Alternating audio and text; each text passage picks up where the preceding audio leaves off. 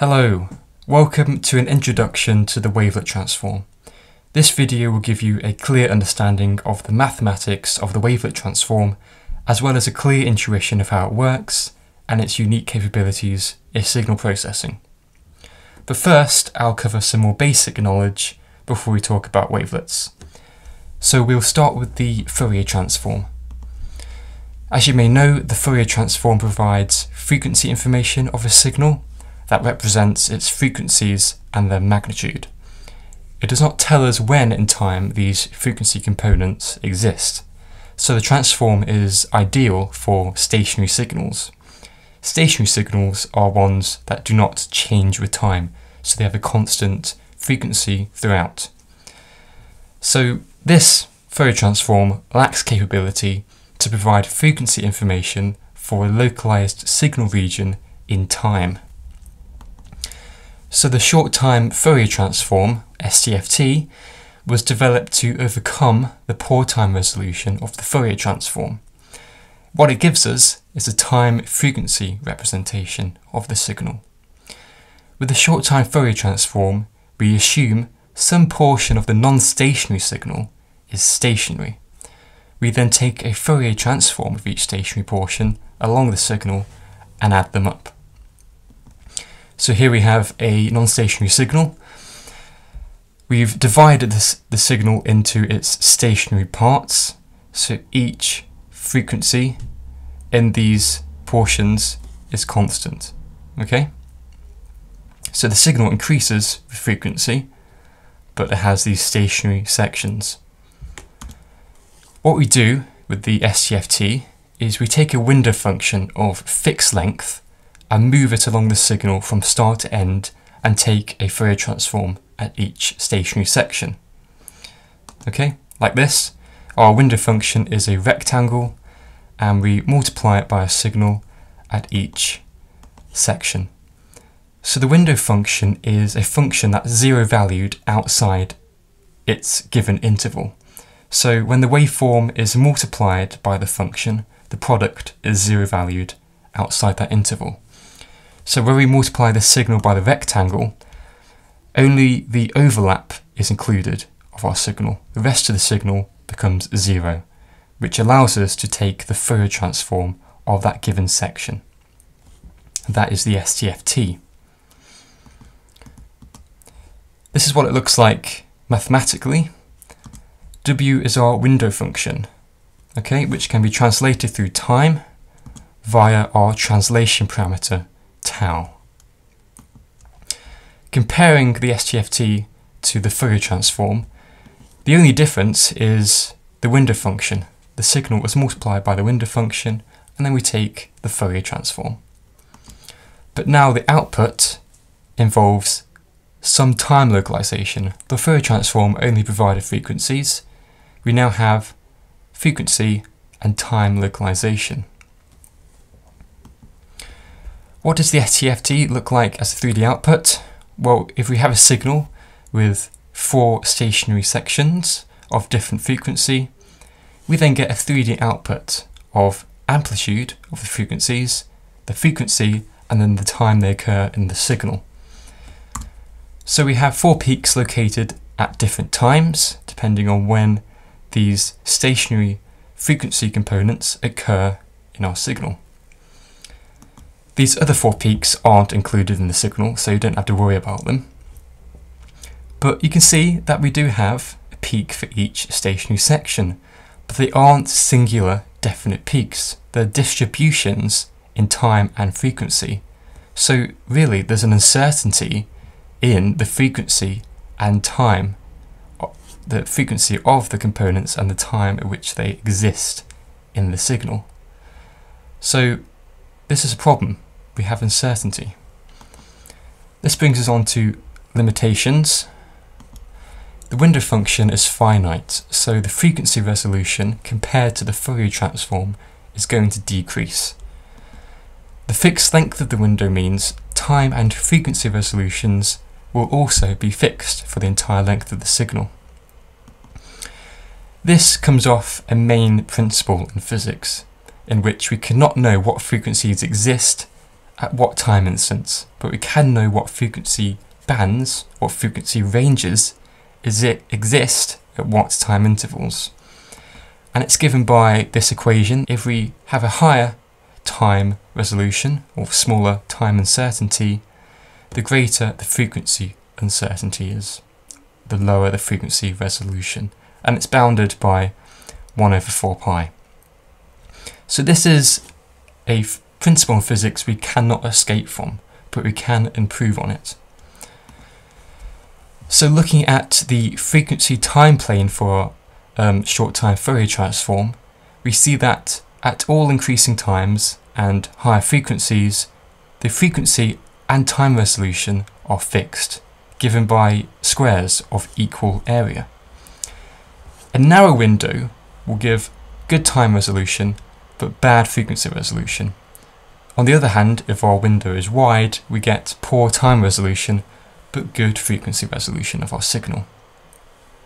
Now this fixed frequency resolution for our short time Fourier transform isn't particularly good when we're looking at these two reasons. Low frequency components of sound and signals often last a long period of time, so our time uncertainty is really small because they do last a long time. So really, we need a high frequency resolution that is required to resolve this correctly. High frequency components, on the other hand, appear as short bursts in signals, invoking the need for higher time resolution. The STFT does not do this very well at all, but the wavelet transform improves on this.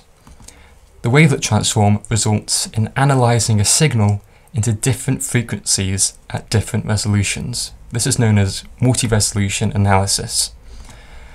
So looking at the frequency time plane for a wavelet transform, we see that there is good time resolution, but poor frequency resolution at high frequencies. So up the frequency axis with high frequencies, the vertical lines are much denser, so that means good time resolution, but there are barely any horizontal lines, meaning low frequency resolution. However, at low frequencies, we have better frequency resolution, more horizontal lines, but poor time resolution. We literally have no vertical lines. So what does the wavelet transform look like? Here it is, it's a integral. It is the continuous wavelet transform. We still have our signal FFT, but this time it's not multiplied by an exponential, it's multiplied by the complex conjugate of psi. Psi is our wavelet, which we'll come on to in a minute. One of the parameters now is the scale parameter, which is 1 over frequency. So before we had tau and omega, but now we have the inverse of frequency, which replaces omega. So what is the wavelet? A wavelet is a small wave, such as these ones, and the wavelet is now our new basis function. Remember from the Fourier transform, the basis function was our sines and cosines. But now, for wavelet transform, we use a wavelet, and the wavelet acts as our window function.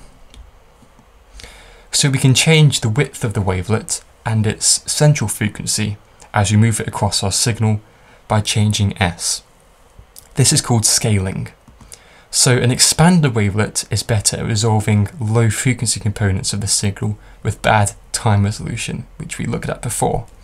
This corresponds to large values of S. Remember, S was the inverse of frequency. Shrunken wavelet is better at resolving high frequency components of the signal with good time resolution. This corresponds to small values of S. So now, with the wavelet transform, we can change the width of our window function, which helps us to resolve high frequency components and low frequency components with good resolutions, both. So all the windows that are used are the dilated or compressed and shifted versions of the mother wavelet psi of t. Going back to our integral, we see that the wavelet is translated across our signal using tau, like our window function, but it's also scaled by dividing by s. So this stretches and compresses the wavelet. Large values of s correspond to lower wavelet frequencies. So when the wavelet matches, when the frequency of a wavelet matches part of the signal with very similar frequency, we get high outputs of f. f represents our wavelet coefficients. Approximation coefficients are wavelet coefficients but represent the low frequency of our signal. Detail coefficients represent the high frequency components of our signal, which we'll look at more later. Here's an animation of the wavelet transform. The wavelet is multiplied by a signal at each location and time, and every time we do that, we increase the scale. So we go from high frequencies to low frequencies of the wavelet. Okay? High frequency wavelets will pick up the high frequencies of a signal, low frequency of the wavelets will pick up the low frequencies of a signal. We end up with a Theodule plot of S, tau and amplitude. So like before, we have tau, but now we have S, 1 over frequency, unlike the STFT, which plotted frequency. So let's move on to the discrete wavelet transform. Calculating wavelet coefficients at every possible scale produces a lot of data. If S and tau are chosen to be discrete, then the wavelet transform won't generate huge amounts of data. If S and tau are based on powers of 2, which is called dyadic, then analysis becomes much more efficient and accurate. So this is the discrete wavelet transform. We have A representing tau and B is S, We've gotten rid of the integral and replaced it with a sum, which you'd expect for discreteness. A and B are now, as I said, dyadic. J is the scale index and K is our wavelet transformed signal index. So computationally, how is the discrete wavelet transform computed? Well, this is computed by multi-level decomposition. In this, our signal is passed into low pass and high pass filters. Low pass filters will pass our low frequency components of the signal, but they're going to reject our high frequency components. Okay? So A represents our approximation coefficients, D represents our detail coefficients. So the low pass portions, approximation coefficients, are iteratively filtered by the same process each time. So they keep going through the low pass filters to disregard the high frequency components at each level. Okay, the high pass portions are the detail coefficients. So the number of coefficients, number of approximation and detail coefficients, halve for each decomposition level. This is called the decimated discrete wavelet transform. So by the end of the process, we end up with sets of approximation and detail coefficients.